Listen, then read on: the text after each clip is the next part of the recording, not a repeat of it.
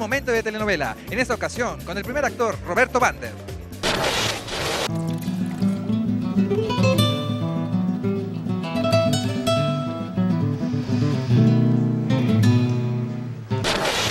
Es un hombre, bueno, de mucha fortuna, pero que no la ha hecho eh, a base de tan limpia, digamos, sino a base de muertes y de estafas y de muchas cosas.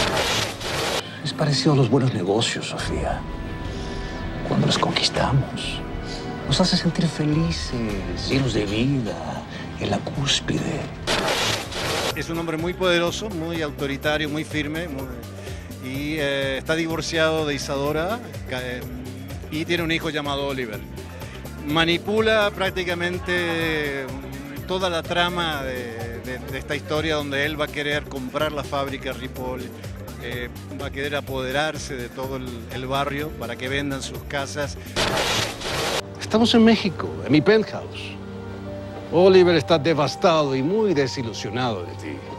Pero sano y salvo en su habitación.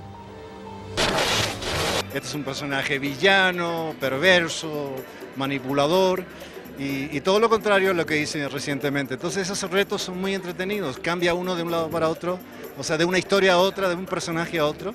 Y esa es la, la fortuna, la dicha que tenemos los actores de poder hacer cosas distintas, ¿no? Mi afecto hacia ti se ha convertido en algo más. En una necesidad de no separarnos nunca. De pasar el resto de mi vida a tu lado. Este es distinto a otros villanos que he hecho, distinto al que hice en Salomé, que me acuerdo que fue muy entretenido esa, esa experiencia. Eh, en fin, otros villanos que hice en otra parte del mundo. Este tiene otra cosa, eh, que ca- cada personaje uno lo va construyendo, justamente estábamos hablando con uno de los directores de ese tema cuando nos encontramos. Y cada personaje uno lo estudia, le busca eh, cositas de acá, cositas de allá, lo va armando poco a poco. Pronto vas a aprender que tu belleza no te va a dar ningún derecho a cambiar los planes de un hombre como yo. Gracias por acompañarnos en este momento de telenovela.